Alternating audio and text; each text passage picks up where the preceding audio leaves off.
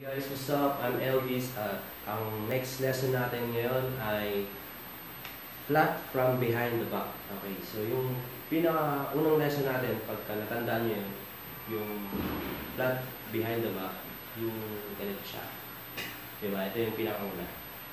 Ngayon, flat from behind the back. So ito, ibig sabihin, yung flare button na to ay manggagaling sa likod.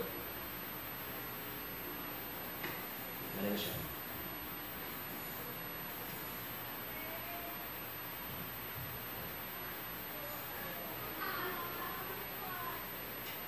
So, yun guys, no? Medyo kon- may konting ka paging komplikado siya. Pero makakuha nyo rin to.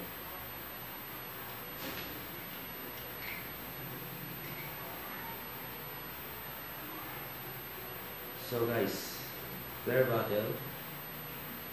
Ito ako dyan. Yan. Tapos, sa likod,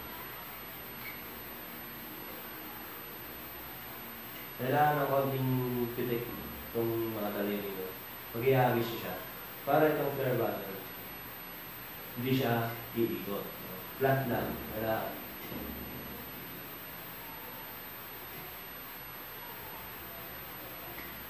Bigyan siya ng konting pectus, konting pitik dito sa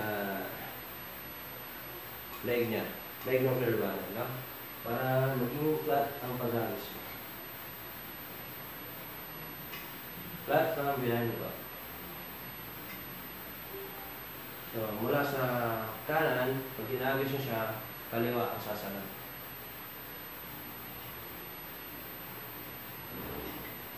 Flat from behind the back.